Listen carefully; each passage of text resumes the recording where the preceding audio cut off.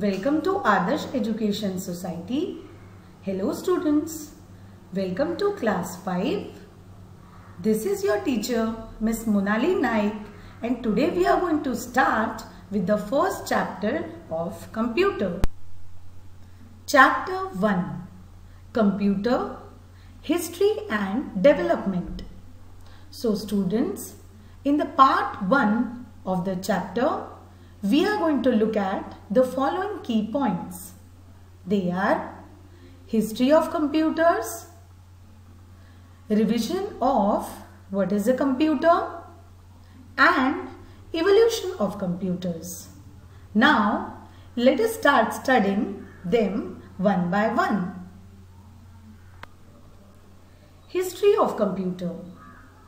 Students, in your previous classes, you must have learned about the basics of computer. Yes? So, do you know anything about the history and evolution of computer? Okay. So tell me first, what is a computer?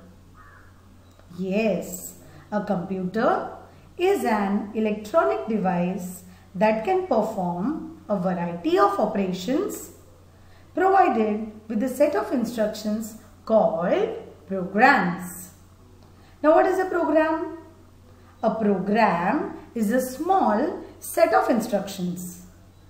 Now it can store data and information in its memory, process them and produce the desired results. Students, but do you know how the computers were developed? Yes, the history of computers started about 5000 years ago when the abacus was invented.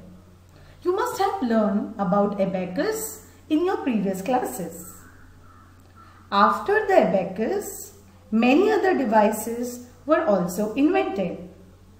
These inventions have brought the kind of computers we see today.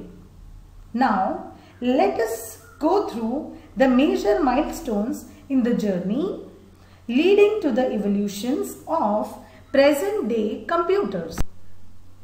So students, now let us do a quick revision on what is a computer. Let's revise all the points again. A computer is an electronic device that can perform a variety of operations. Computer works with set of instructions called programs. A computer can store data and information in its memory. A computer can also process that stored data to produce desired result. Understood? Now, in the next topic, we are going to look at what is evolution of computers. That is how the computers were generated one by one. Abacus. Now tell me students, how many of you have Napier's bones? Napier's bones were invented by Pascaline. Pascaline was invented in the year 6. Leibniz calculator. Gottfried Wilhelm Leibniz, the famous German mathematician, improved on the Pascal's machine in the year 1671. Leibniz calculator was a mechanical device. So students, just look at the image given to you.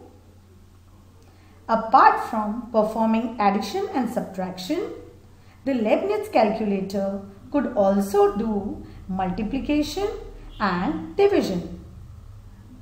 Leibniz was the first one to use the binary number system which is the fundamental principle for the operation of modern computers. Jacquard's loom. In the year 1801, Joseph M. Jacquard invented a power loom called Jacquard's loom that could design its pattern with the help of punched cards. Now students, what is the punched cards? Punch cards are a small cards that are pre-programmed. That is, they are already programmed. He used these punch cards to control the loom. So, the whole controlling was automatic. Now, this was not an invention related to the computer but it initiated the era of storing data in the binary form. Difference engine. Charles Babbage invented a machine called the difference engine in the year 1822 to prepare mathematical tables in the 19th century. Difference engine was the first automatic programmed calculating machine. It could do a big complex calculations. Analytical engine. Charles Babbage invented analytical engine which was the first general purpose computer. Analytical engine had the same basic elements as the modern computer like input, output and memory devices. Because of this, Charles Babbage was considered as the father of modern computers. Mark 1 Howard H. Aiken was the primary engineer in IBM who developed the first automatic sequence controlled calculator, the Mark I, in the year 1944. Mark I was about 15 meters long and the wires that connected it were 800 kilometers long. The machine was however slow and it took 3 to 5 seconds per calculations. But it was also the first fully automatic calculator. With this, we end the part 1 of chapter 1. Thank you.